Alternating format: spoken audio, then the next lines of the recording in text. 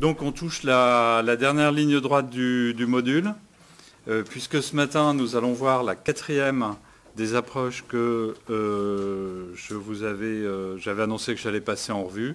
Et cet après-midi, on va essayer de prendre une vue d'ensemble, une mise en discussion de tout ce qui aura été mis sur la table de cette, de cette manière-là. Alors ce matin, ce qui va nous intéresser, c'est euh, essentiellement euh, deux approches euh, qui sont d'une certaine manière cousines l'une de l'autre et qui relèvent de ce qu'on a appelé la théorie de, l'acteur réseau, selon une formule de, de, Michel Calon. Et donc il va s'agir d'une part de la sociologie de la traduction de Michel Calon, à partir d'un article célèbre de 1986 sur les coquilles Saint-Jacques et les pêcheurs, et puis, dans un deuxième temps, des politiques de la, nature de Bruno Latour, un ouvrage de la fin des années 90, de 1999 pour être plus précis. Donc, euh, pourquoi ces approches sont très importantes? Euh, Parce qu'elles mettent au cœur de leur analyse les relations entre science et société, science, technique et société. Euh, quand on prend les problèmes d'environnement qui nous intéressent jusque-là, on a raisonné comme si on avait des acteurs qui gèrent des objets naturels. Euh, mais dans cette gestion, inévitablement, on passe par le truchement de la science. C'est-à-dire qu'entre les acteurs et les objets qui gèrent, il y a une médiation scientifique. sans les scientifiques, on n'a presque pas accès aux objets qu'on gère. Alors c'est variable. Euh, le plus frappant, c'est l'effet de serre et le changement climatique. Donc là, il s'agit d'un dossier euh, dans lequel on ne connaîtrait même pas l'existence du problème si elle n'était pas construite ou mise en évidence par les scientifiques. Donc là, quand on parle d'agir pour le changement climatique ou de gérer le changement climatique, euh, les scientifiques et la recherche sont un intermédiaire total et obligé. Sans eux, le problème n'existerait pas. S'agissant d'autres dossiers environnementaux comme euh, la faune, la flore, la biodiversité végétale, donc, ou bien la déforestation, là, on peut constater l'existence du problème sans avoir besoin de, scientifiques. Hein. Là où il y avait une forêt euh, ancienne euh, il y a 15 ans, vous passez en vélo, tout a été coupé et remplacé par des cultures ou un lotissement, ben là, vous n'avez pas besoin de scientifiques pour vous dire euh, qu'il existe un phénomène que vous pouvez ensuite euh, qualifier de problème. Euh, là où c'est, par contre, dès lors qu'il va s'agir d'être un peu plus précis, pour qualifier le phénomène, pour voir si les gains d'un côté ne sont pas contrebalancés par des pertes de l'autre, etc., etc. Là, il va vous falloir des inventaires de faune, euh, des cartes de végétation, des choses dans ce genre-là. Et donc là, le passage par les apports euh, des scientifiques va être une dimension euh, importante de la gestion du, dossier. Même chose pour les hydrosystèmes. le fait qu'il y ait une sécheresse et qu'il y ait très peu d'eau dans la rivière, ça vous le voyez hein, quand vous passez. Degré de sécheresse les conséquences du phénomène, par exemple la toxicité des, cyanobactéries qui ont envahi certains cours d'eau français cet été, euh, ou bien l'analyse précise des causes du phénomène, est-ce que c'est dû au manque de pluie, quelle est la part des prélèvements d'eau agricoles dans l'aggravation de l'étiage, etc., ben, vous avez besoin de scientifiques et de recherche pour euh, établir tout ça. Donc en fait, on n'est presque jamais dans un cadre où des acteurs gèrent par eux-mêmes des, objets naturels, des forêts, des cours d'eau, etc. Mais dans leur gestion, ils sont, ils sont obligés de passer par le truchement des scientifiques. Oui, pour faire une comparaison un peu triviale, c'est un peu comme si vous, vous, ne faites pas de mécanique, entre votre voiture et vous, ben, il y a le garagiste, euh, et d'une certaine manière, ben, vous êtes obligé de passer par le garagiste. Et ça a des conséquences importantes, c'est-à-dire qu'il va vous dire des choses sur votre voiture. Vous le croyez, vous ne le croyez pas. Est-ce qu'il faut, est faut vraiment changer telle et telle partie? Ben voilà, Donc vous êtes dans la même situation que dans la gestion de l'environnement, entre nous d'une certaine manière et l'environnement, il y a des scientifiques qui vous disent si si c'est très grave, ou bien ah bah oui la vraie cause en fait c'est pas ce que vous croyez, c'est autre chose, etc. Donc il constitue à la fois un relais et en même temps une barrière euh, dans cette idée initiale d'acteurs qui gèrent des objets naturels. Et donc la question posée c'est est-ce qu'il s'agit de prendre des décisions politiques à partir de faits ou bien est-ce que la définition du fait est déjà une décision politique? Dit autrement, est-ce que quand je demande au garagiste où en est ma voiture, euh, je prends ce qu'il me dit comme des faits ou bien est-ce que je me dis, au fond, peut-être que dans ce que va me dire le garagiste sur ma voiture, il y a déjà une stratégie commerciale, etc. Et il m'oriente en fait vers une décision dans laquelle je n'ai plus vraiment le choix.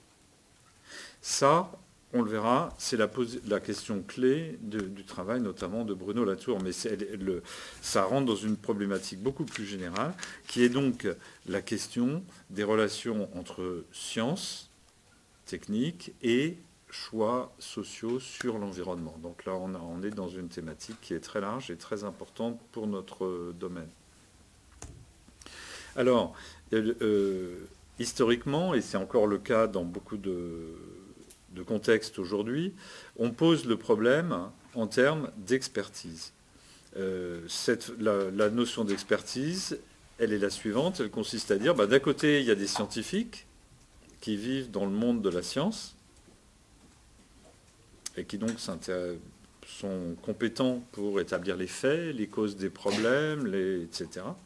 Et puis de l'autre côté, il y a des politiques qui, eux, sont capables de prendre des décisions, de représenter les attentes de, la société. Euh, et donc, le problème de la science par rapport aux, décisions en matière d'environnement, euh, si on le pose en termes d'expertise, ça veut dire qu'on le pose comme un problème de communication entre d'un côté la sphère de la science et de l'autre côté la sphère de la décision. Et donc entre ces deux sphères, on considère dans cette vision-là des choses qu'il y a des go-between, des, intermédiaires, euh, qui sont les, experts. Et donc, à partir du moment où on est euh, dans cette manière de poser le problème, comme un problème d'expertise, on se demande euh, comment fonctionne cette interface entre la sphère de la science et la sphère de la décision? Et on se demande bien sûr comment améliorer cette interface entre science et décision. Alors, pendant les années 70-80, euh, euh, c'était cette manière-là de poser le problème des rapports entre science et décision sur l'environnement qui dominait.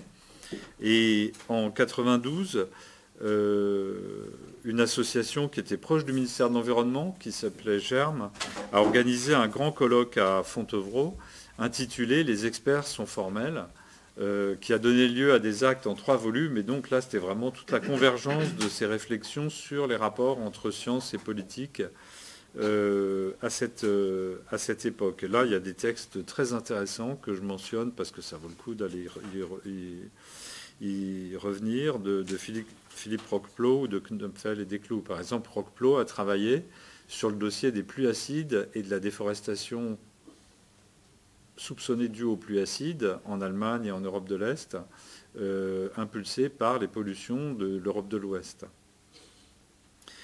Euh, et donc, on peut analyser en grand détail comment fonctionne l'expertise, comment ce qui est élaboré dans les laboratoires d'écologie est discuté dans des commissions d'experts convoquées par le ministère de l'Environnement et comment les fonctionnaires informent leurs réflexions par ces, comités, ces commissions d'experts et ensuite discutent avec les politiques euh, pour euh, soit modifier les lois, soit euh, adopter des stratégies de gestion sur des problèmes X ou Y. Et depuis, ce qu'on voit aussi, c'est que l'expertise joue un rôle absolument fondamental, pratique dans la gestion de, des problèmes écologiques.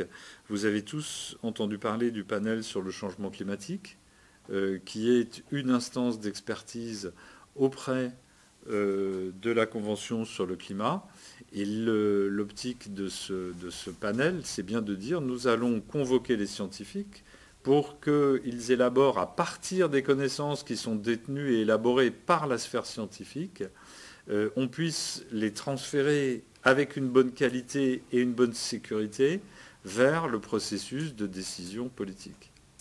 Donc vous avez vu le rôle absolument fondamental que joue ce panel dans la politique mondiale climatique. Vous avez vu aussi euh, qu'il est un maillon attaqué sans arrêt euh, par les personnes qui ne sont pas d'accord avec, ou les mouvements qui ne sont pas d'accord avec la politique euh, climatique. En France, on a vu aussi depuis les années 90 se développer grandement des agences d'expertise en matière de sécurité sanitaire, de sécurité des médicaments. Et donc, euh, tout simplement euh, à la suite de scandales que vous n'avez peut-être pas euh, vécu vous, vous deviez être encore dans des sections un peu élémentaires de l'école, mais la vache folle, le sang contaminé. Donc ces scandales-là ont fait prendre conscience aux politiques que ils pouvaient prendre des décisions qui avaient des conséquences dramatiques et qu'ensuite ils pouvaient être, euh, être accusés d'en être responsables. Et donc ils ont redéployé un système d'expertise de telle manière que les scientifiques puissent donner un avis autorisé et public, mais on peut retourner la médaille, hein, de manière que les scientifiques soient obligés de donner un avis scientifique, de sorte que si les politiques suivent cet avis scientifique qui a été rendu dans les formes, alors ils sont exonérés de responsabilité, puisqu'au fond, ils n'ont fait que appliquer euh, ce que les connaissances et, l'avis des scientifiques euh, considéraient comme fondamental. Je note en passant qu'on a développé en France des, agences et des procédures d'expertise extrêmement précises. Moi, j'ai été frappé en lisant des articles sur comment fonctionnent ces autorités d'expertise sanitaire ou en matière alimentaire ou en matière de médicaments. C'est tout à fait frappant de voir la précision des procédures, le, sérieux avec lequel elles fonctionnent, même si bien sûr on peut toujours euh, contester les résultats. Euh, en matière d'environnement, il n'existe rien de comparable. Euh, les procédures d'expertise et d'interface sciences-société sont sans arrêt réformées. Par exemple, le Conseil national de protection de la nature a été réformé récemment. Euh, et euh, en tout cas, c'est un enjeu très important de voir comment on organise concrètement la discussion entre les scientifiques patentés d'un côté, qui deviennent des experts à partir du moment où ils acceptent de parler aux politiques dans le cadre de la préparation de la décision, et puis euh, les pouvoirs publics et éventuellement les personnes au sein des pouvoirs publics qui ont une compétence technique et qui sont en mesure d'écouter ce que disent les scientifiques. Et puis aujourd'hui, on en est venu à créer ce panel sur la biodiversité, l'IPBS, euh, qui est censé jouer le, même rôle pour la biodiversité que euh, le panel d'experts sur le changement climatique. Donc là, aujourd'hui, c'est devenu un objet focal de, recherche, cet IPBS. Et on peut se demander, est-ce qu'en matière de biodiversité, le problème est vraiment qu'on manque de connaissances ou que les connaissances ne sont pas mises à disposition euh, du politique? En tout cas, on fait comme si le problème était, le facteur limitant était un problème de connaissance, et on crée une instance disons on va enfin donner aux politiques une information scientifique, et du coup, on va espérer qu'ils prennent des décisions différentes. Mais l'hypothèse est quand même très très forte, parce que ce n'est pas du tout évident euh, que la cause du problème soit euh, des connaissances euh, limitées sur les causes du problème. Hein. Enfin, je veux dire, la cause de l'inaction politique, n'est pas du tout évident qu'elle soit une limitation dans la compréhension des causes du, problème. Ok, donc il y a tout, ce, tout cette, cette, manière de poser les choses autour de l'expertise. On va faire une petite euh, discussion là-dessus. Donc on va discuter un peu de ce thème de l'expertise avant de plonger dans le vif du sujet de, ce matin, qui est les théories de l'acteur réseau. D'ici que dans l'environnement, il y y a des termes vraiment d'équivalent, mais en même temps, il y a ben oui, c'est-à-dire que l'agence de l'environnement, en principe, dans ses missions, c'est ça qu'elle est censée faire. Mais ce que, quand je dis qu'il n'existe pas, il n'existe pas l'équivalent, dont le degré de précision des procédures et de sérieux avec lequel on prend la parole des scientifiques.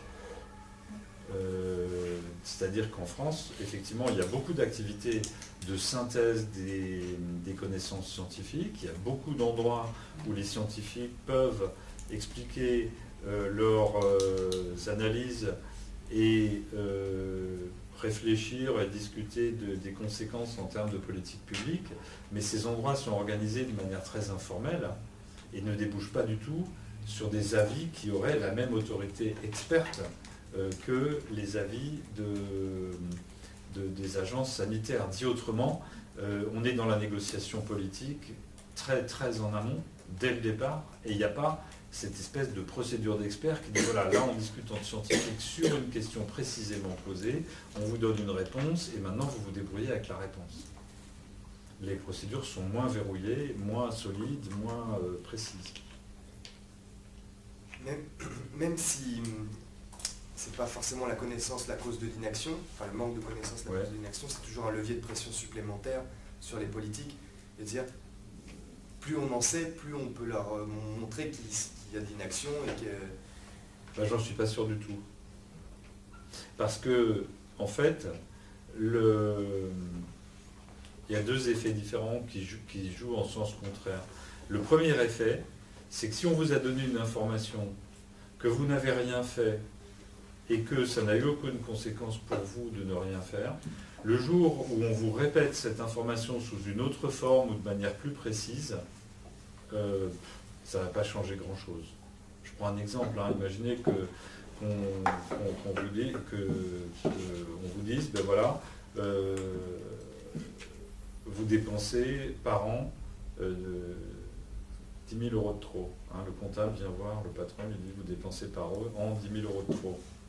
Si le patron ne fait rien, le comptable revient trois mois après et lui dit euh, J'ai regardé, en fait, vous dépensez 10 577 euros de trop.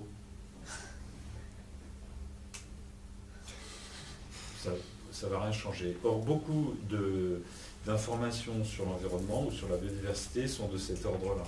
Hein, c'est-à-dire qu'elles apportent des précisions supplémentaires, mais qui ne changent pas du tout les ordres de grandeur, ou bien elles, mettent l'information sous des formes différentes. Euh, j'ai été très frappé en assistant, j'étais membre du jury d'une thèse par quelqu'un qui s'appelle Richard, qui a travaillé sur les orang-outans euh, en Indonésie. Et donc, il montre tous les crédits internationaux qui, depuis 30 ans, ont été dépensés pour euh, cartographier, connaître, etc., les populations d'orang-outans. Donc on est passé à la cartographie à partir des données initiales hein, sur les orang-outans. On est passé ensuite aux cartographies par SIG, puis à l'évolution monétaire des services écosystémiques liés aux orang-outans, etc., etc. Et il montre dans ce chapitre qu'en fait, sur l'endroit où sont les orang-outans et le nombre d'orang-outans, on n'a pas d'informations euh, supplémentaires. C'est-à-dire que depuis 30 ans, on monte des programmes de recherche appliquée pour informer la politique collective sur l'orang-outan, qui ne font que euh, jouer sur la précision, changer les formes de mise à disposition de l'information. C'est un peu comme le comptable qui arrive en disant je me suis trompé, c'était pas 10 000, c'était 10 577. Donc euh, ça, c'est ce, qui joue dans un sens. Ce qui joue dans l'autre sens, c'est quand vous arrivez avec une information vraiment nouvelle, alors là, oui, ça peut changer. Si euh, le comptable arrive en disant c'est pas 10 000, euh, c'est 25 000 parce qu'en fait, on n'a pas tenu compte d'une dépréciation très importante et du fait qu'il va falloir remplacer tel élément d'actif qui est nécessaire à l'activité de la société. Là, on a une information nouvelle.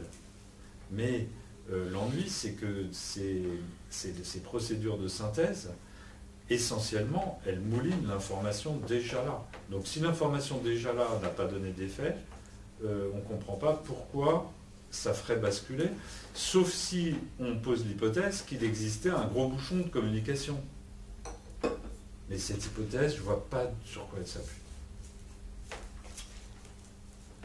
Mais pour revenir à l'exemple du comptable, par exemple, le, on dit que le, patron savait déjà qu'il y avait 10 000 euros. Il y a une expertise qui dit qu'il y a 10 577 euros. Les employés sont au courant que là, du coup, il y a une expertise et qu'il y a 10 577 euros. Les employés, ils n'ont pas eu d'augmentation de salaire depuis 5 euh, ans.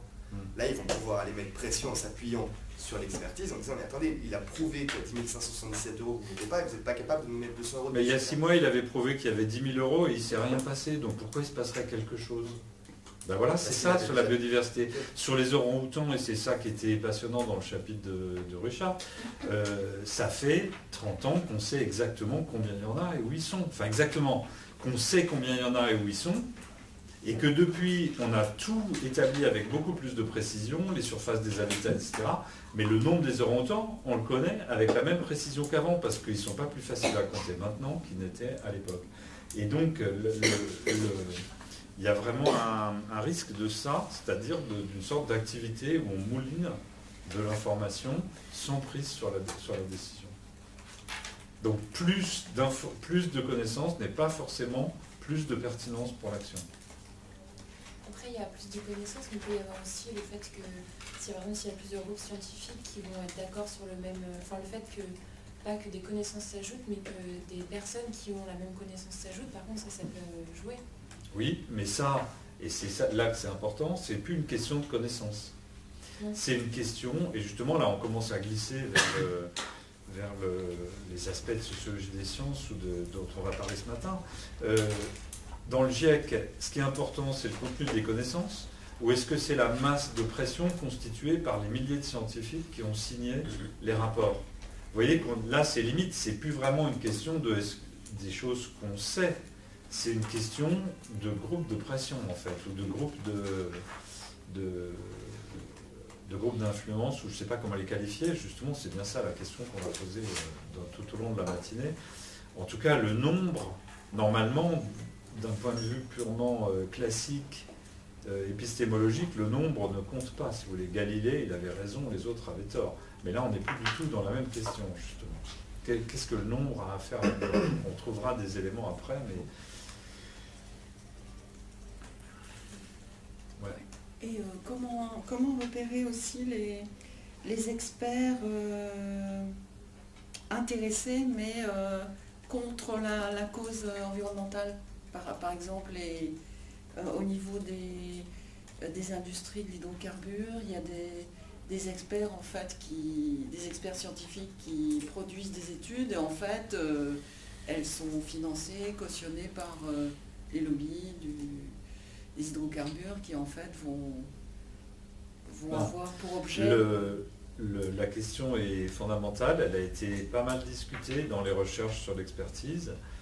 Euh, et en fait, comment dire, la logique puriste actuelle, euh, qui consiste à dire, dès lors qu'il y a un lien quelconque avec l'industrie par exemple, euh, l'expert est décrédibilisé et sa voix ne devrait pas être écoutée, euh, cette logique ne résiste pas, de mon point de vue, à un examen critique.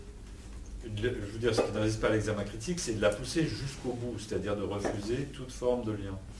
Euh, je vous donne un, mon argument et le principal est le suivant. J'ai participé à une, grande expertise en évaluation des politiques publiques que je vous présenterai dans un autre module euh, sur les zones humides dans les années en 1994. Et cette expertise, elle reposait sur la mobilisation d'experts en matière de zones humides. Et le ministère de l'Agriculture a essayé de balayer d'un revers de main les résultats de tout ce travail en disant mais 90% euh, des experts que vous avez mobilisés ont déjà touché des crédits de recherche de la part du ministère de l'Environnement. Eh oui, mais qui d'autre euh, euh, finance des recherches sur les zones humides que le ministère de l'Environnement? Par ailleurs, donc, par ailleurs, il n'existe pas d'expert neutre, si vous voulez. Euh, si un chercheur travaille à l'Institut national de la recherche agronomique, il est dans un organisme dont le conseil d'administration est dominé par le, secteur agricole et ses institutions. Et il existe des relations, non pas d'expertise personnelle forcément, mais des relations organiques entre son organisme et l'industrie agricole. Donc, ces relations d'intérêt, elles existent toujours. C'est donc une question de degré, ce n'est pas une question d'existence. On arrive aujourd'hui à des chasses aux sorcières complètement euh, incroyables, notamment dans le fameux IPBS, sur le rapport sur la pollinisation, il y avait 60 experts. Parmi ces 60 experts, il y en avait deux qui travaillaient chez euh, Monsanto et Bayer. Alors, euh, jusqu'où on pousse la chasse aux sorcières? Est-ce que les, on veut même plus qu'il y ait la moindre discussion? Donc là, on euh, donc là, on arrive, si vous voulez, si les personnes qui sont embauchées par, par exemple, les pétroliers pour travailler sur le changement climatique ne peuvent plus participer à la discussion du tout, là, on arrive à un degré de manichéisme et de fermeture où on ne pourra plus dire qu'on est vraiment dans une procédure scientifique. en science, on ne dit pas aux gens, euh, tu es payé par un tel, donc tes arguments valent rien. Non, ce n'est pas possible ça. Dans, le débat académique, ce n'est pas possible. Et en politique, quand on dit aux gens, euh, tu es dans tel parti ou tu es lié à tel mouvement, donc ce que tu dis n'a pas à être écouté sur la place publique, bah, petit à petit, on arrive à l'espèce de crispation d'exclusion euh, qui mine la démocratie. La démocratie, c'est de pouvoir tout discuter publiquement. C'est pas de dire ah ben seuls les gentils ont le droit de discuter publiquement. Et c'est moi qui décide qui sont les gentils et qui sont les méchants. Donc il y a un vrai problème, donc, on est vraiment dans des problématiques sérieuses. Il est évident que si la commission d'experts, c'est 85% de gens payés par Monsanto et Bayer, il peut y avoir un problème plus que sérieux. Euh, mais d'un autre côté, si vous voulez, tout raisonnement puriste euh, se retourne contre la possibilité d'une discussion ouverte. dans la théorie, je suis d'accord qu'il faut pas, on ne peut pas interdire des gens de, participer à des décisions parce qu'ils travaillent pour d'autres personnes, mais dans les faits, euh, ils sont très souvent très orientés et très biaisés. Oui, mais s'ils sont deux sur 60 et les autres sont orientés et biaisés aussi. C'est-à-dire que ceux qui militent, ceux qui militent contre telle, euh, telle chose ou telle autre, tout le monde, il n'y a pas d'expert neutre. Voilà, un des éléments clés, c'est qu'il n'existe pas d'expert neutre. Chacun est là, il pose son avis, et derrière, il y a des intérêts financiers très importants. Donc, évidemment, si, si dans le manichéisme ambiant, on dit tel intérêt financier, par exemple la filière éolienne, c'est super, il n'y a pas à critiquer, à discuter. Tel autre intérêt financier, par exemple le nucléaire, c'est horrible, c'est épouvantable. Euh, donc ils n'ont même pas le droit de participer à la discussion. Ben, on est ramené à, cette situation où c'est un pur conflit de force. Il n'y a plus d'éléments de fait. En réalité, tous les experts sont liés à des intérêts. Alors ils sont liés soit de manière directe et matérielle, soit de manière plus indirecte mais matérielle quand même, soit de manière... Euh, simplement euh, par les conséquences de, ce qu'ils disent. Hein. C'est-à-dire que l'avis qu'ils défendent va faire gagner de l'argent aux uns et perdre de l'argent aux autres. Et quand ils expliquent, moi je ne sais pas, je ne veux pas savoir, on n'est pas obligé de les croire immédiatement. Est-ce que le, problème, c'est pas aussi dans les problèmes d'environnement que souvent la connaissance scientifique est limitée, elle n'arrive pas à démontrer euh, euh, si clairement démontrer que telle chose, par exemple le changement climatique, personne n'avait à démontrer vraiment qu'il y a un changement climatique, donc du coup ça laisse... Bah non, ça, ça, renvoie à une autre question, c'est qu'est-ce que démontrer hein euh, Qu'est-ce que démontrer bah, Moi j'ai passé quelques semaines à m'amuser comme un fou en allant sur Internet regarder les théories de la Terre plate. Je ne sais pas si vous connaissez ça, hein, Flat Earth euh, Theory. Et donc il y a plein de gens euh, qui ont développé des théories pour montrer que la Terre est plate. Et c'est génial, c'est génial, avec des arguments. Euh, il y a des arguments qui sont extraordinaires et c'est tout un débat. Donc si vous voulez, le fait qu'il y a des gens qui argumentent jusqu'au bout et qui mettent un effort euh, tout à fait étonnant à monter des argumentaires magnifiques pour montrer que la Terre est plate, je vous en donne juste un pour s'amuser. Euh, pourquoi est-ce que toutes les agences spatiales, alors c'est plus vrai maintenant avec les, depuis une dizaine d'années, mais pourquoi toutes les agences spatiales étaient publiques donc, donc maîtrisées par les États. Vous placez-vous dans l'optique de la théorie de la Terre plate. Hein Pardon pour mentir. Coïncidence, je ne pense pas. Alors pour mentir, bien sûr, mais pour mentir sur quoi? Sur les images. Voilà, c'est-à-dire que si, une entreprise non dépendante des États envoyait une fusée, cette fusée taperait dans le dôme, et donc là, il deviendrait évident pour tout le monde euh, que toute cette histoire d'exploration spatiale, c'est que des images fabriquées par les États pour nous raconter une histoire.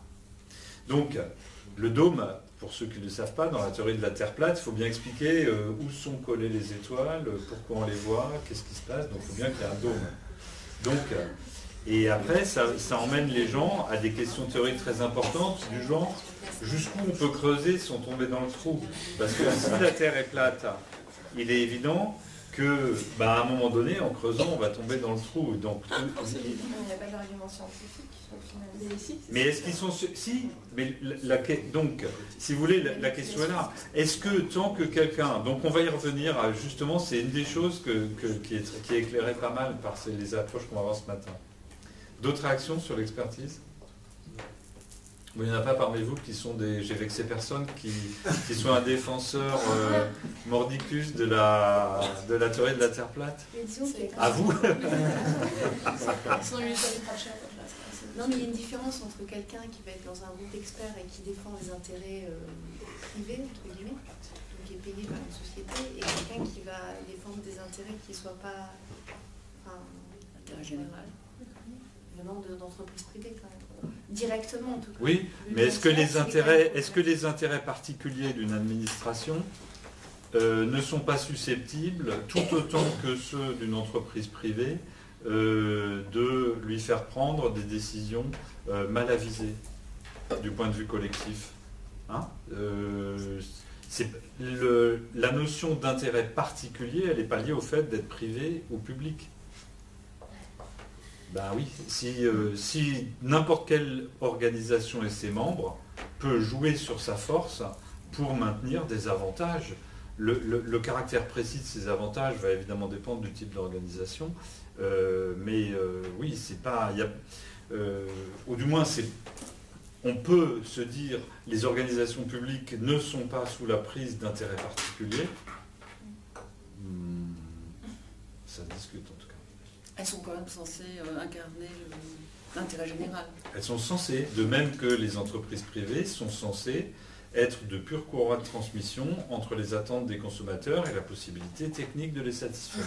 Donc, le, bah oui, c'est-à-dire que le choix, il est idéologique. Hein. Si pour, les, pour un type d'organisation, on prend pour argent comptant ce qu'elles sont censées faire, et pour l'autre type d'organisation, on ne prend comme euh, critère d'évaluation que les dérapages, euh, évidemment, on arrive à une perception différente des deux types d'organisations. Mais ça, c'est déjà inscrit dans les lunettes avec lesquelles on regarde ces organisations. Et après, exemple, pour tout ce qui est euh, financement public, euh, souvent dans la recherche, on va financer des sujets qui, on s'intéresse moins aux résultats plutôt qu'au départ au sujet, qu'est-ce qui va être intéressant à étudier ou pas. Donc il y a une prise de parti, mais c'est euh, vous avez une vision euh, très idéaliste de la recherche. Euh, je ne sais pas si vous connaissez l'Institut national de la recherche agronomique ou le Centre d'études atomiques, le CEA. Donc c'est des deux grands organismes de recherche de l'État dont les chercheurs se considèrent comme des scientifiques purs et durs. Et en fait, c'est des organismes de recherche qui sont au service de la politique nationale de développement de l'agriculture, respectivement, et au service de la politique nationale de développement de la filière nucléaire. Et donc les chercheurs qui travaillent là-dedans, les programmes de recherche, leur promotion, les conseils d'administration, etc., sont au service de l'orientation nationale de ces secteurs d'activité. Considérer ça comme neutre du point de vue environnemental, non. Et on a pu montrer, nous on a fait des rapports en 2000, vous les trouverez sur mon site, 2000 et 2001, sur la manière dont les questions de biodiversité étaient traitées à l'INRA. Euh, euh, et, dans le système de recherche français plus généralement, les autres organismes comme IRSTEA, etc., étaient un peu dans le même cas. Euh, il y a une convergence d'intérêts structurels entre le type d'agriculture défendu par l'État et le type de recherche qui est conduite dans les organismes. Et là, on est dans un exemple où il n'y a pas le privé. Ce n'est pas le privé qui oriente les carrières des chercheurs de, de l'INRA. C'est toute la technosphère publique du monde de l'agriculture. Oui, d'accord, mais c'est pas pareil que par exemple les études qui sont euh, mandatées par des entreprises privées et qui, enfin, où on explique à certains experts voilà ce que vous devez trouver. Enfin, on ne dit pas, on dit pas à des chercheurs de l'INRA voilà ce que vous devez trouver. Bien sûr que si. Ah bon bah. Il y a quand même des gens Donc on leur dit d'abord voilà ce que vous devez chercher. Oui, c'est-à-dire. Euh, D'abord, si, parce que quand vous dites ce que vous devez chercher, c'est améliorer la manipulation génétique des plants de maïs dans le cadre de la culture intensive, vous êtes certain que vous n'allez pas trouver quelque chose qui soit utile pour faire de la prairie permanente pour la biodiversité. Donc là, vous avez déjà cadré les choses d'une manière qui fait qu'on ne trouvera pas d'informations utiles pour aller dans une direction d'une agriculture bonne pour la biodiversité. Et par ailleurs, oui, vous, pouvez cadrer sur ce que les gens trouvent. Euh, quand j'ai commencé, genre dans les années 80, j'avais été stupéfait de, l'énergie que des chercheurs de ces euh, avaient mis à montrer qu'on était incapable de prouver un lien quelconque entre le drainage agricole euh, et des impacts éventuels sur les cours d'eau et les inondations. donc, si vous voulez, les liens d'intérêt, ils existent, que ce soit dans la sphère publique ou privée. Ils ne sont pas forcément de même nature, ce qui compte c'est leur intensité, euh, mais le petit jeu qui consiste à pointer des doigts en disant celui-là, il y a 5 ans, il a touché euh, euh, une, compensation financière parce qu'il a participé à une commission d'expertise de Monsanto, et moi je bosse dans un organisme public dont je suis neutre, non, ça c'est pas possible quand on entend parler de labo de recherche indépendant, c'est une, vue de l'esprit. c'est par rapport à un problème donné, ils n'ont pas d'intérêt en, jeu. Bah, c'est-à-dire que l'indépendance, c'est relatif. Euh, il y a des gens qui sont totalement dépendants, des gens qui sont euh, très dépendants, des gens qui sont relativement indépendants. L'indépendance totale, euh, dans les organismes de recherche françaises, peut être un peu au CNRS dans les autres, non. Euh, regardez la composition des conseils d'administration, regardez euh, comment sont montés les, programmes de recherche, etc. Euh, ça ne veut pas dire qu'il n'y a pas d'indépendance, si vous voulez. C'est comme si je vous demande, vous, est-ce que vous êtes indépendant par rapport à votre famille? Ah oui, bon, si vous habitez chez vos parents, que vous vivez uniquement avec leur argent, et que vous obéissez aux instructions qu'ils vous donnent, vous êtes très dépendant. Mais même si vous habitez chez vous, etc., vous, avez des liens peut-être. Hein. donc l'indépendance, c'est une grandeur relative. Et donc tout raisonnement qui repose sur l'idée, soit il y a de la dépendance, soit c'est indépendant, est un raisonnement euh, douteux. Mais il y a une énorme différence, si vous voulez, entre une université autogérée euh, comme les universités anglo-saxonnes, et puis un organisme de recherche national lié à un secteur productif comme le centre de l'énergie atomique. C'est pas pareil. Du coup, vous pensez, euh, pour se prémunir de ces problèmes de, neutralité, euh, c'est d'avoir un panel suffisamment large de, des, origines des experts, par exemple? Voilà, mais donc la question, c'est comment on raisonne une fois qu'on a accepté que les chercheurs ne sont pas neutres? Encore une fois, ne pas être neutre, ça ne veut pas dire être manipulé par des intérêts euh, maléfiques. Hein. Ne pas être neutre, ça veut dire que les connaissances qu'on manipule sont en lien avec les actions euh, qui peuvent être recommandées. C'est ce qu'on a vu depuis le début du mot euh, les diagnostics qu'on fait sont forcément en lien avec le type d'action ou d'inaction qu'on recommande la raison pour laquelle j'ai proposé qu'on ait cette discussion, c'est pour qu'on touche du doigt le type d'enjeux concrets ou de problèmes concrets euh, euh, qu'il s'agit d'éclairer et la gravité du problème, enfin l'importance du problème dans le champ de l'environnement. Alors, jusque-là, on était dans l'expertise, d'un côté les scientifiques, de l'autre la politique. Et en fait, euh, il y a eu beaucoup de recherches en sociologie des sciences et de l'innovation à partir des années 70. Et un des résultats majeurs de ces recherches, ça a été de montrer qu'il n'y avait pas d'un côté une sphère scientifique et de l'autre une sphère politique qui seraient complètement séparées et qui auraient chacune une logique euh, vraiment différente, euh, mais qu'en fait, la dimension scientifique et technique et la dimension sociopolitique ne sont que deux faces d'une même médaille, hein, deux aspects des mêmes, euh, des mêmes processus. Alors ça, c'est discuté dans un livre euh, de Bruno Latour de 89 qui s'appelle La science en action, Euh, c'est un des, livres qui vous donne l'accès le plus facile et le plus attrayant à cette, à cette question. C'est un livre dont je, recommande fortement la lecture à, tous, notamment ceux qui ont une formation à la base scientifique ou, ou ingénieur. Et c'est un livre qui aide à désapprendre les croyances sur la science qu'on nous a inculquées à, l'école. Donc c'est une sorte de rééducation euh, mentale. vous l'avez sur, les diapos, le titre euh, figure.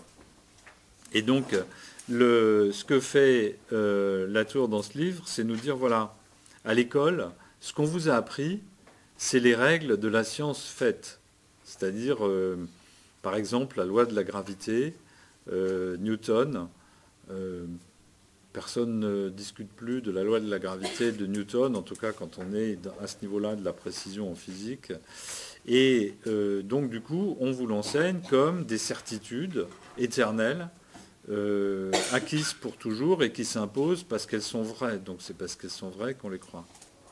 Mais ce que dit Latour, c'est allez voir maintenant, comme on le fait en sociologie des sciences, comment euh, on discute et comment travaillent les chercheurs, que font les chercheurs. Regardez-les en train de faire de la recherche. Et là, vous allez vous apercevoir que, ça fonctionne tout autrement, que leur activité, loin d'être euh, de porter sur des certitudes, porte sur des incertitudes en permanence, et que deuxièmement, cette activité consiste énormément à un, chercher des soutiens, deux, essayer de convaincre des gens. Et donc, Latour nous dit, ce, que vous avez appris à l'école, c'est la science faite, c'est-à-dire de la science déjà refroidie, euh, décantée euh, du passé, etc. Euh, mais la science en train de se faire, elle fonctionne complètement autrement. Et donc, il pose la question suivante. Et ce qu'on nous dit à l'école, c'est qu'une affirmation scientifique tient socialement parce qu'elle est vraie. Pourquoi nous croyons à la théorie de la gravité Parce qu'elle est vraie? Oui, mais ça, c'est le raisonnement clos de la science déjà faite. Et quand on observe les scientifiques en train de travailler, la logique qui prévaut est inverse. C'est-à-dire que les scientifiques posent sur la table une hypothèse et ensuite ils s'activent pour convaincre les autres que c'est cette hypothèse-là qui est la bonne.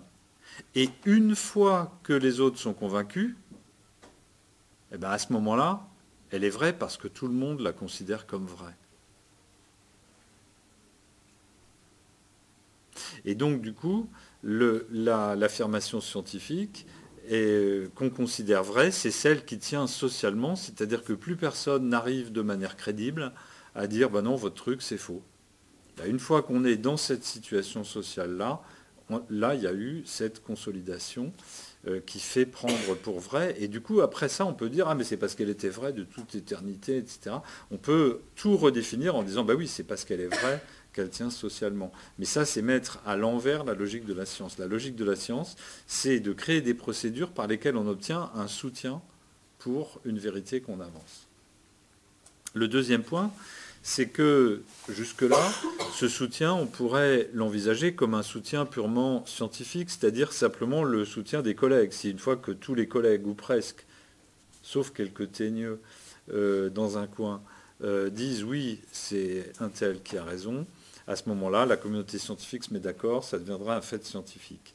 Mais euh, ça va plus loin, en ce sens que, avec des études d'histoire des sciences, Latour euh, nous montre que, au fond, même pendant la science en train de se faire, la politique est déjà là.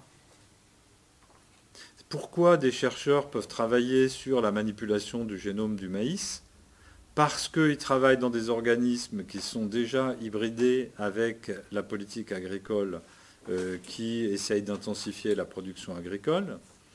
Euh, et donc qu'il euh, y a déjà eu des deals, des négociations pour que le financement des sciences et la définition des problèmes scientifiques légitimes euh, soient déjà dans une convergence entre politique et science, en amont. Mais ça, ça date pas d'aujourd'hui. Et c'est pas forcément pour le pire. Et donc, euh, euh, Latour nous donne des exemples d'une idole de, la culture scolaire de la science, Pasteur, qu'on imagine comme un pur esprit. Et il nous dit, mais voilà, Pasteur, lui, il a travaillé sur la fermentation euh, alcoolique avec les vignerons du Jura. Lui, il venait du Jura, mais pour financer ses recherches, etc., et pour les justifier socialement. vous êtes là, vous venez de découvrir les microbes, etc.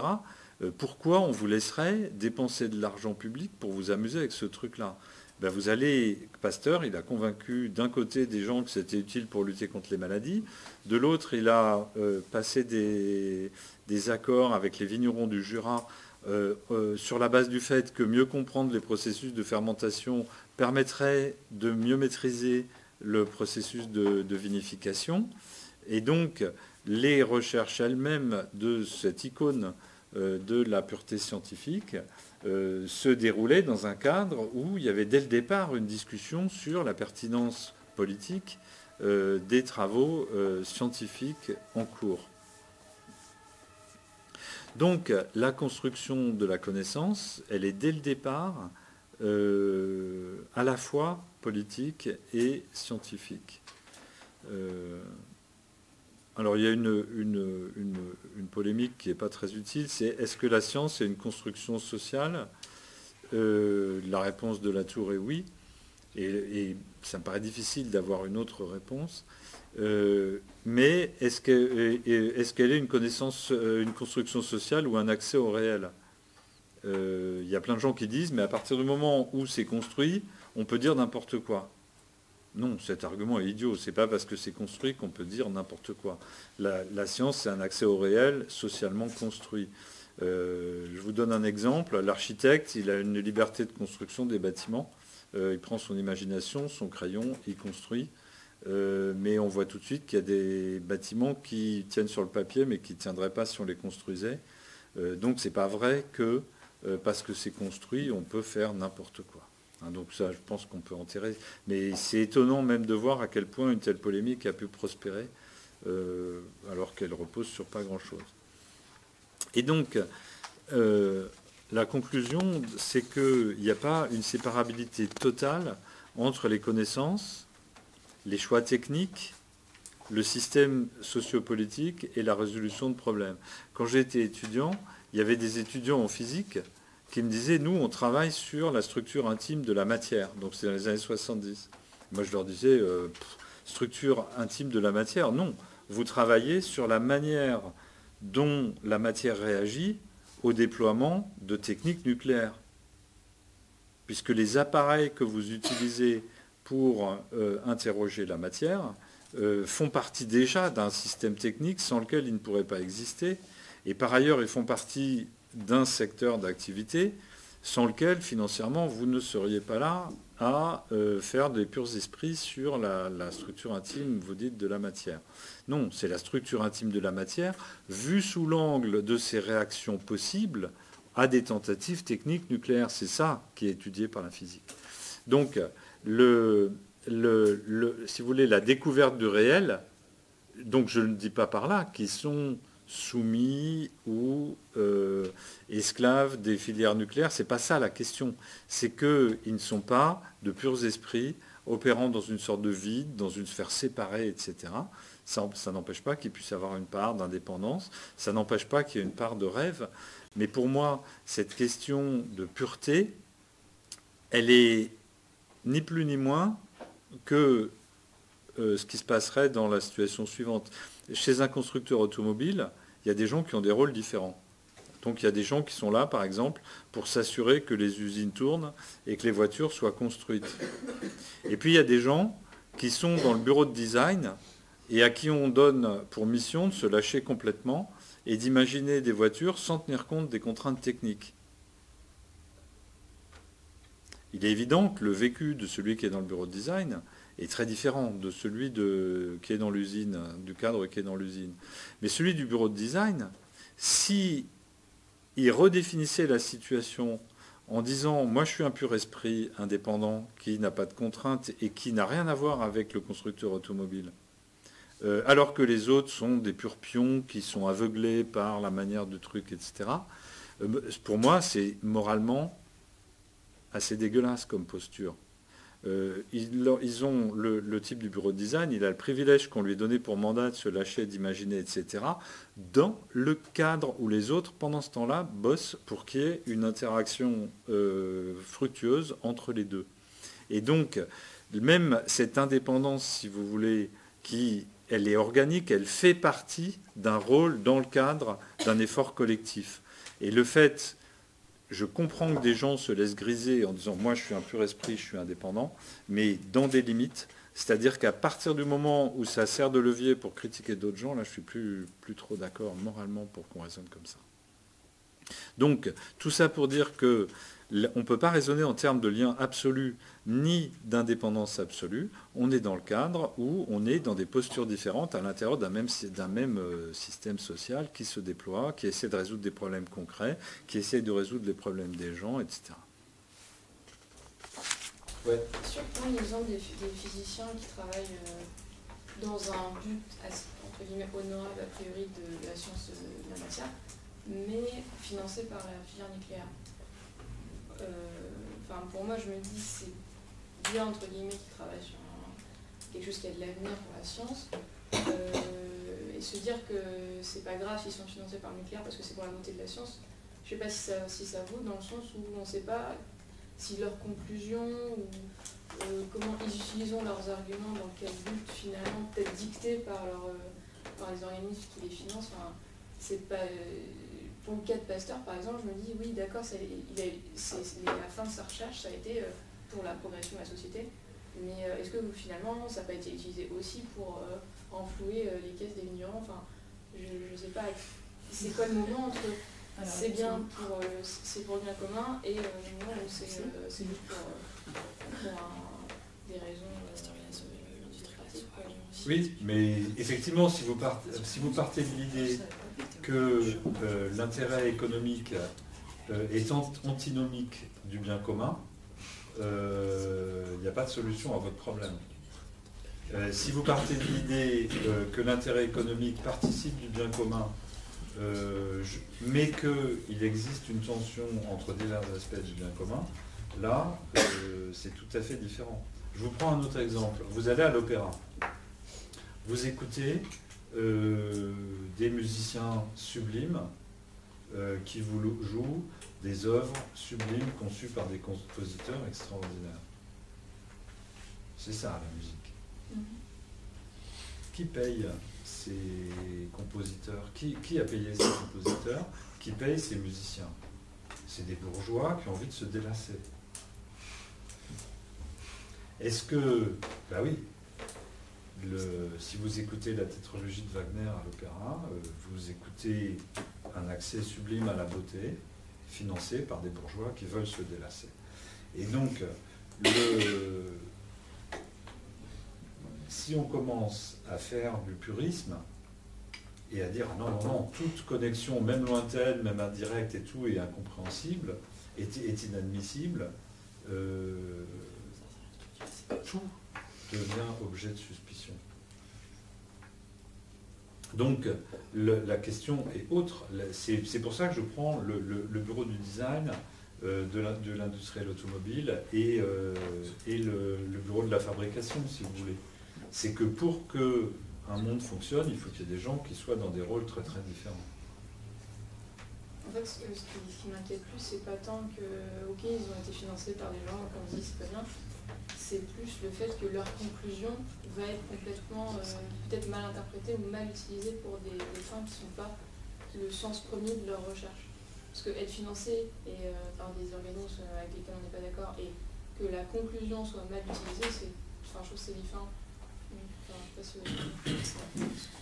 Euh, d'abord, d'abord, ce que je veux dire, c'est que cette notion de organisme avec lesquels on n'est pas d'accord, personne ne pose problème. Euh, c'est-à-dire que vous n'avez aucune raison d'accepter des financements de gens avec lesquels vous n'êtes fondamentalement pas d'accord.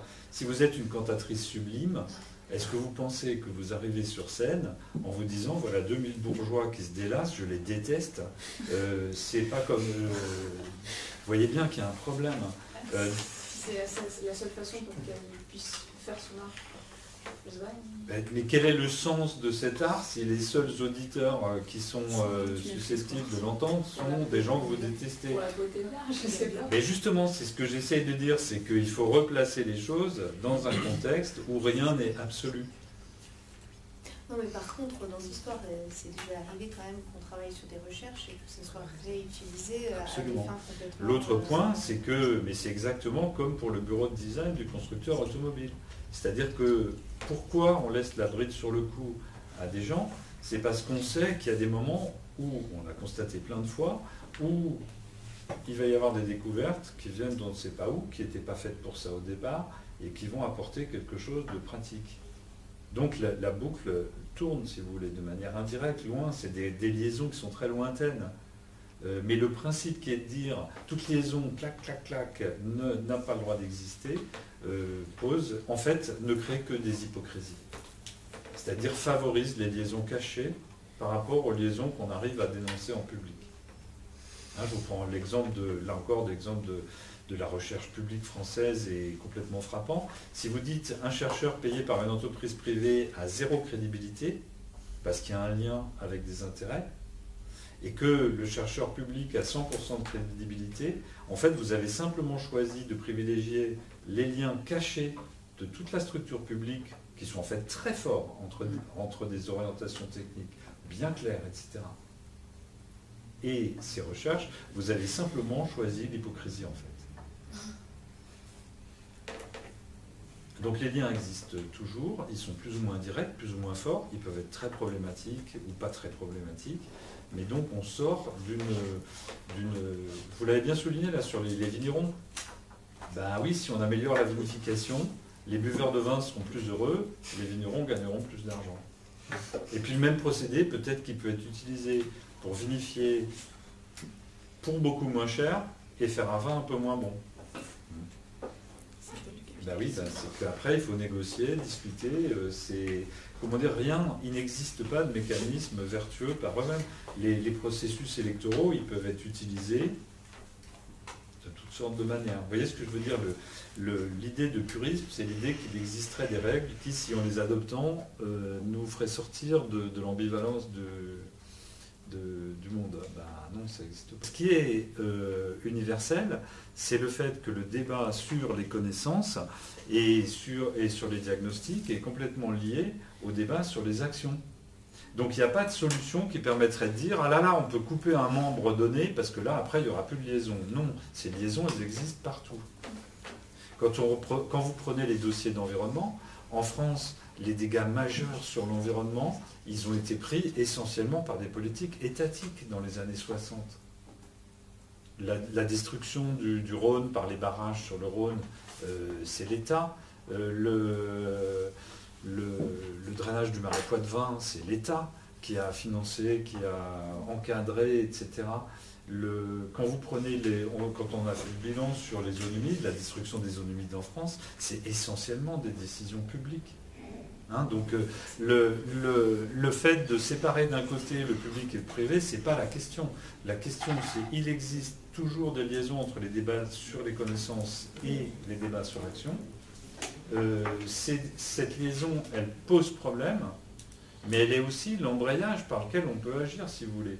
Vous ne pouvez pas à la fois dire on attache ensemble la connaissance et l'action pour pouvoir agir, mais on ne voudrait pas qu'il y ait de dépendance euh, entre connaissance et action. Non, on va retrouver partout euh, le caractère à la fois positif et négatif du lien entre connaissance et action. Donc en fait, il faut se mettre en position de raisonner sérieusement sur, les, sur des cas concrets. Et le perfectionnisme euh, n'est qu'un imaginaire en fait. Si vous voulez, le purisme n'est qu'un imaginaire.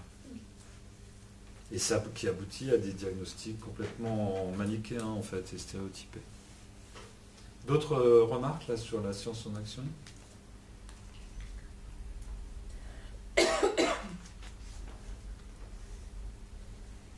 Donc on est prêt pour plonger euh, euh, dans les coquilles Saint-Jacques. Donc, on va embrayer sur euh, la sociologie de la traduction. Donc, dans le PowerPoint, vous avez le titre de ce fameux article sur les, coquilles Saint-Jacques. Et vous remarquez le, caractère provocateur de la formulation de la domestication des coquilles Saint-Jacques et des marins pêcheurs en baie de Saint-Brieuc. Donc, je vous raconte l'histoire.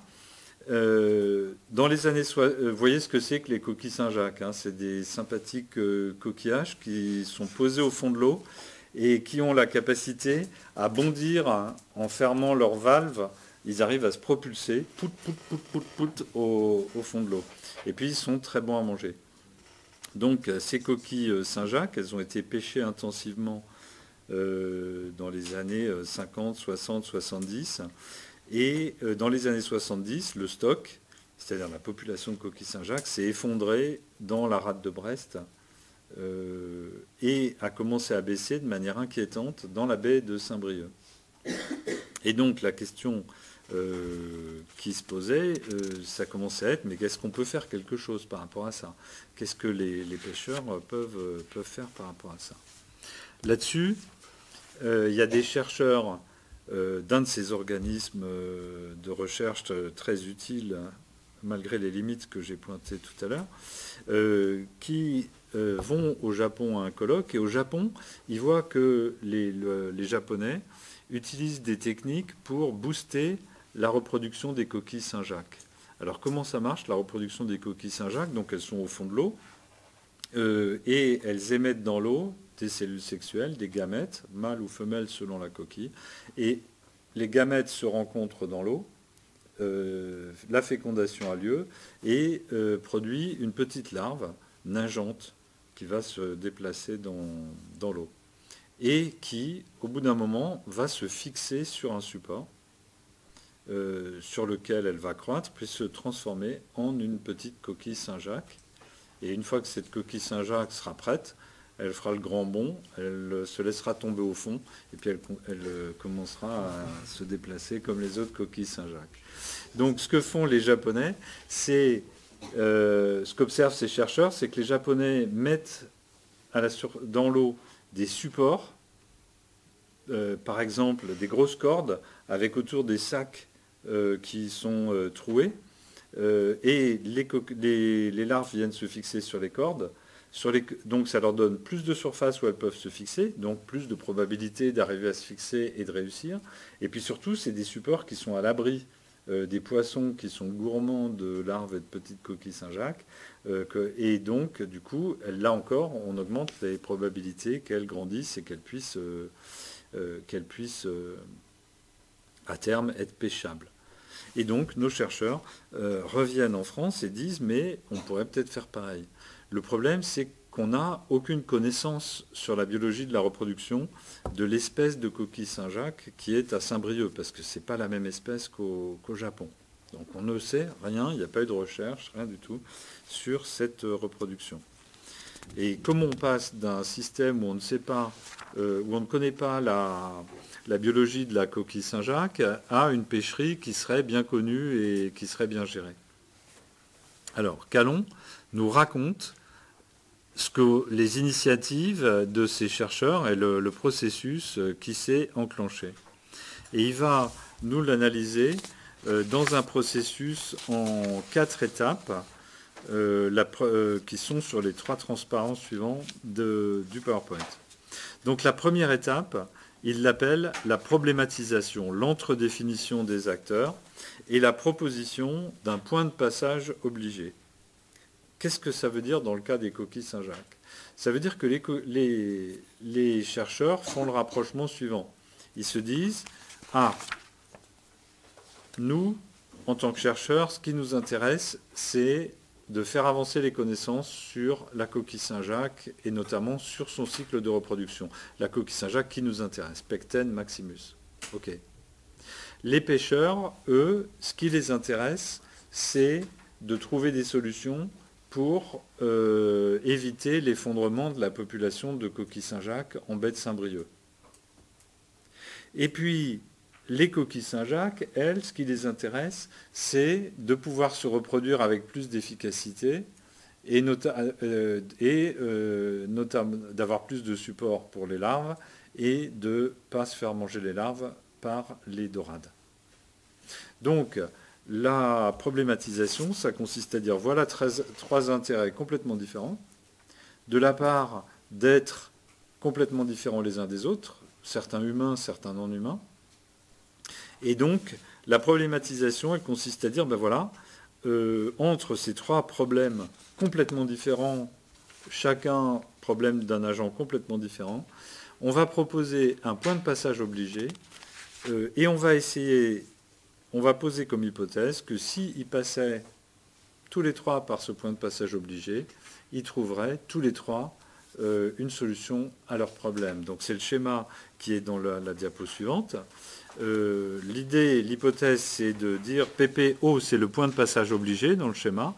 Euh, donc l'idée, c'est de dire si on met en place un dispositif euh, pour tester les méthodes de capture des Japonais, ben nous, ça nous permettra de mieux d'étudier le cycle de reproduction de la coquille Saint-Jacques. Euh, les coquilles Saint-Jacques, ça leur permettra euh, de mieux fonctionner dans leur reproduction. Et les marins pêcheurs, ça leur permettra d'échapper à l'effondrement de leur pêcherie.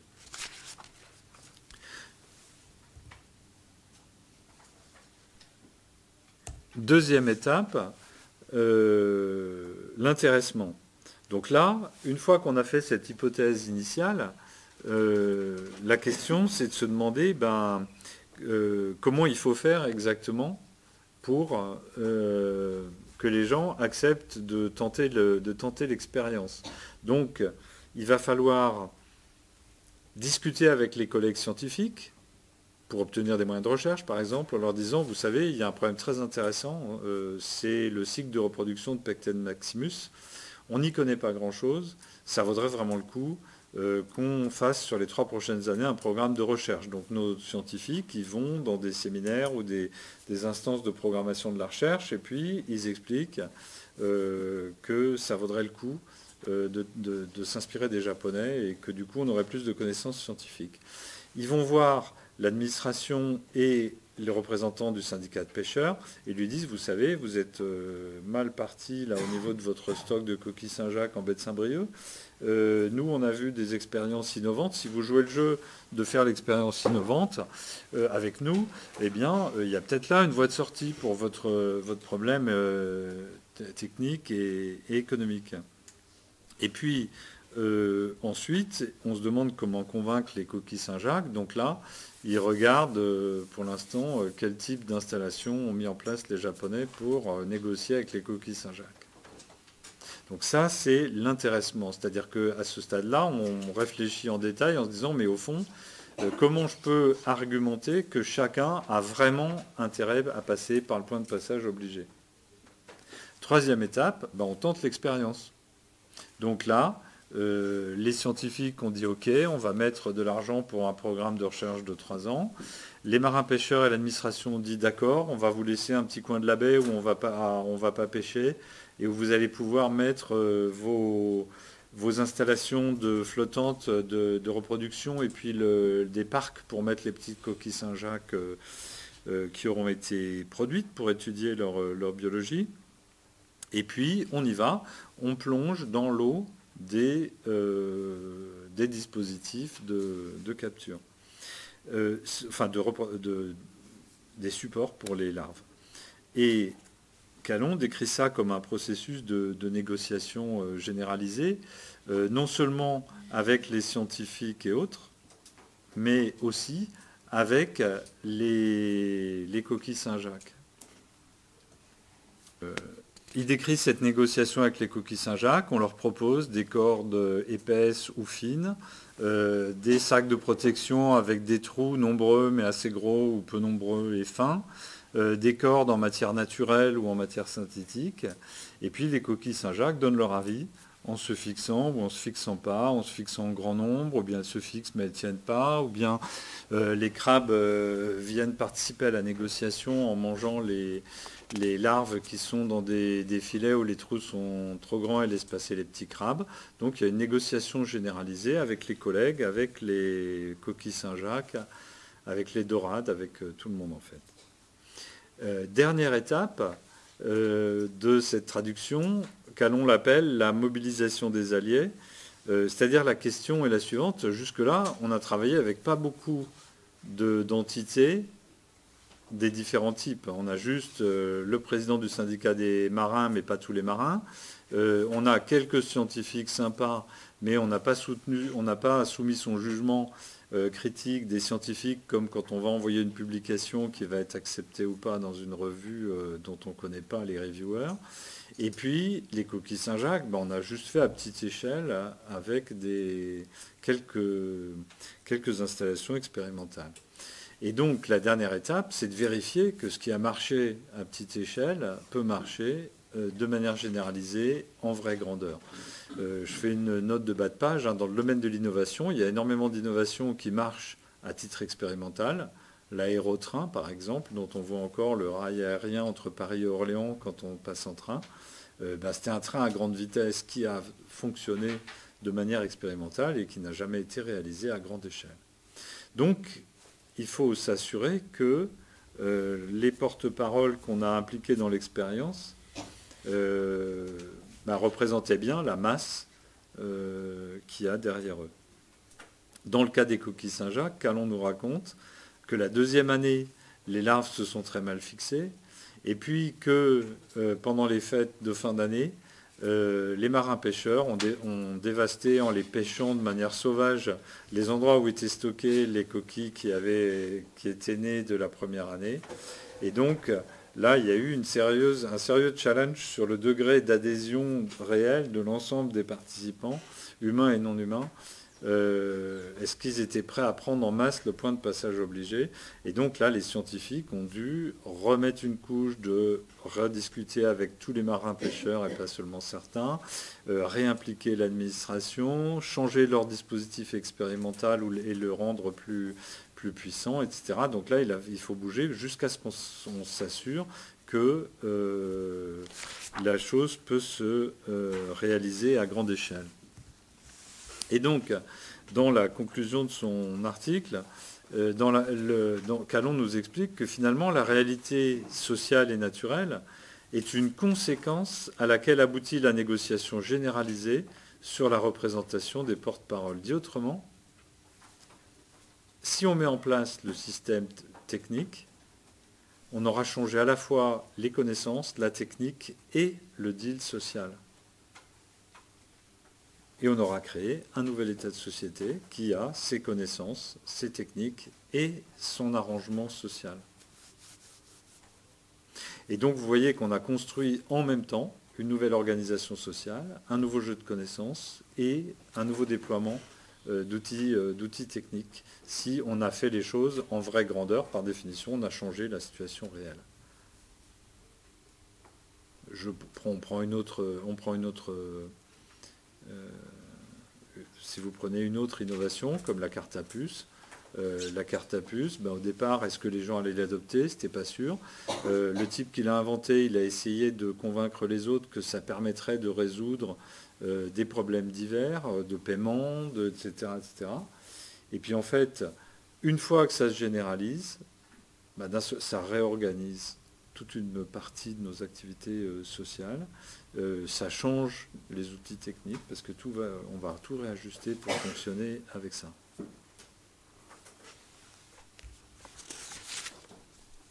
Dernier point sur Canon le principe de symétrie. Vous remarquez, donc j'ai bien souligné euh, au passage, euh, ce principe de symétrie, euh, il consiste à dire on ne va pas adopter de règles différentes, on ne va pas parler avec un langage différent des humains d'un côté et des non-humains de l'autre ou de la société et de la nature. Donc vous voyez que pour lui, on négocie avec les coquilles Saint-Jacques.